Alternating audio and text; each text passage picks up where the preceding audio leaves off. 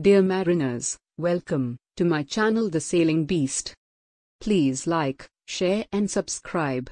And don't forget to hit the bell icon for updates on upcoming videos. In this video we will discuss Berthing, stern to tide. This is one example of many. This does however require adept bow crew who can use the anchor. Care must be taken of fouling the anchor. Approach the berth at a shallow angle, stemming the tide. Parse out two good stern ropes from the offshore quarter leads. Allow the bow to fall off with the tide. Let go port anchor. When the weight is taken by the stern ropes, and then if it does not swing weigh the port anchor and drop again as needed. Control the swing of the vessel on shore by use of the anchor.